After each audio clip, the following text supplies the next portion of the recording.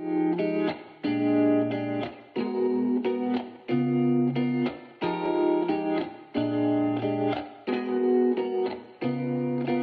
the struggle of doing two videos at once.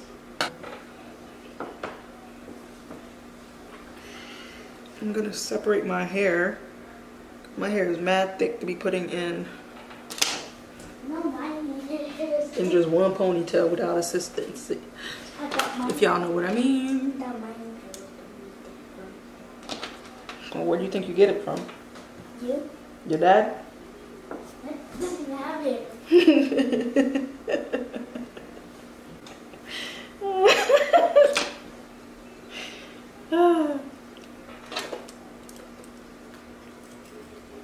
You are right about that little one.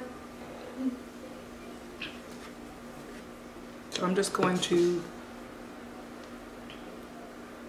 put some of that edge control to tame my flyaways.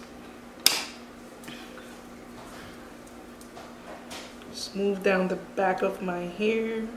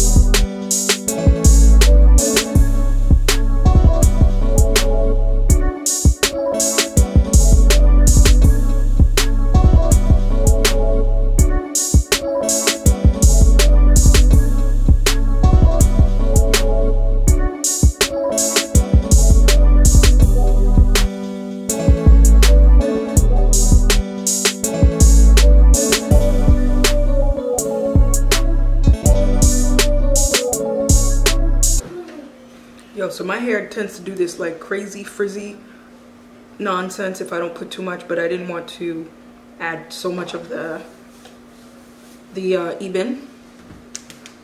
I didn't want to add too much of that, so I did slick it down a little bit with the Got2b hair free spray.